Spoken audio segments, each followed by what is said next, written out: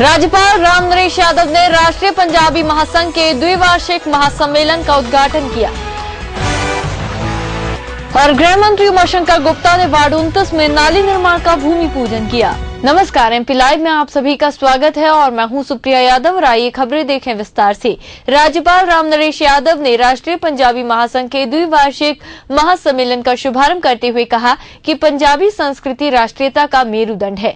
इसके प्रण में एकत्व है, इसके रक्त में सहानुभूति, सहयोग, करुणा और मानव प्रेम है। पंजाब के लोगों ने विश्व में देश और अपने प्रदेश का नाम रोशन किया है।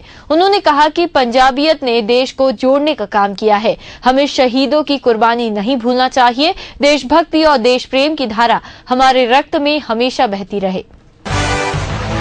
राज्य सरकार द्वारा विगत वर्षों में उद्योग के क्षेत्र में निवेश बढ़ाने के लिए किए जा रहे अथक प्रयासों की बदौलत औद्योगिक निवेश प्रस्तावों पर अमल में मध्य प्रदेश आज देश के 16 बड़े राज्यों में पाँचवें स्थान पर है। मध्य प्रदेश में औद्योगिक निवेश प्रस्तावों का क्रियान्वयन वर्ष 2004-5 में इकतालीस प्रतिशत था, जो वर्ष 2012-13 में बढ़कर पचपन प्रतिशत हो गया है।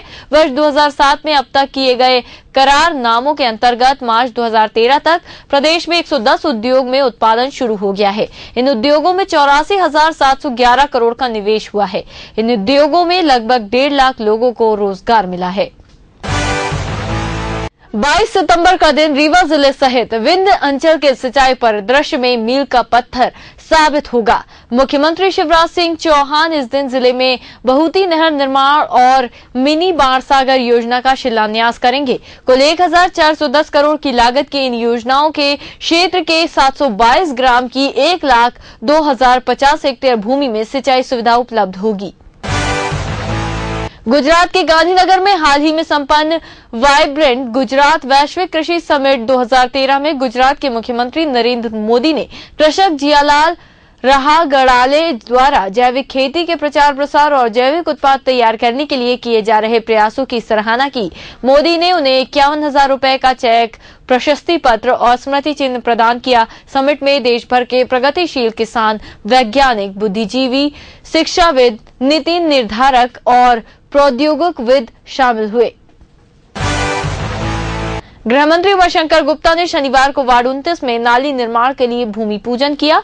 नाली निर्माण के लिए 15 लाख रुपए स्वीकृत किए गए हैं।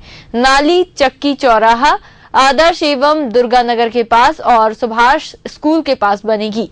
गुप्ता ने कार्य समय सीमा में पूर्ण करवाने के निर्देश दिए। उन्होंने उपस्थित जन को शासन की जन कल्याणकारी योजनाओं की जानकारी दी।